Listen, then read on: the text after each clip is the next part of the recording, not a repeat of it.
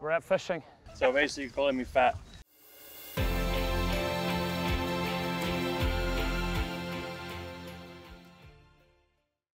We've got the biggest bunker, the biggest boom, the biggest hitters, and the biggest four ball on the course. Doesn't get much better than this at the Open.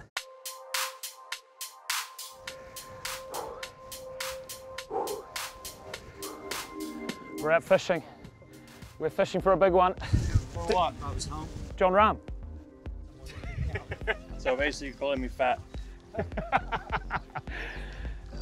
How are you, mate? Good, how are you? How good's the crowds here? It must be amazing to see the UK fans for the first time in a couple of years. It's really fun. It's arguably some of the best fans out there, and the fact that they're back, they all wanted to be here, and they're in big masses. It's really fun. You've had a great run of recent. Uh, it must be exciting to have the Open back and be in some good nick ahead of it too. Yeah, I've been playing okay.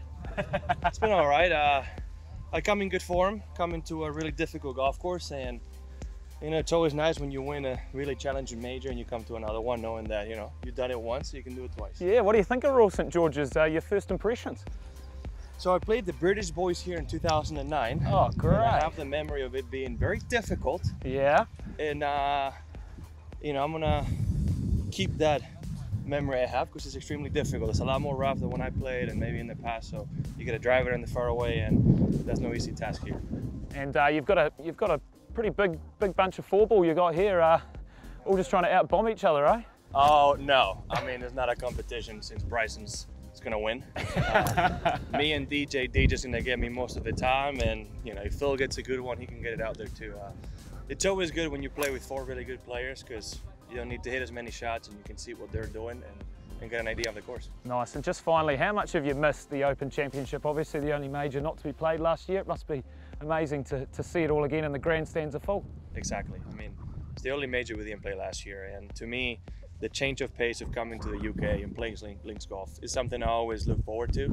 And it was missed last year, so I'm glad we're back, and I'm glad this is the first event with this, this big a crowd we've had in a while. So, as it should be. So, you know, can't wait to see who's the Open champion of the year, and hopefully it's me.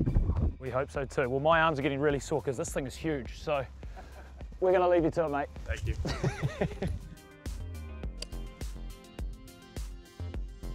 Great shot, Jon. Great shot, mate. Hope you're getting him and not me. What are you doing? I don't know. I'm just going with the flow. Have fun, mate. I'm dizzy. I'm tired. That bunker is massive. And there's a lot of fans here watching me make an absolute fool of myself. So I think I'll go back to the clubhouse.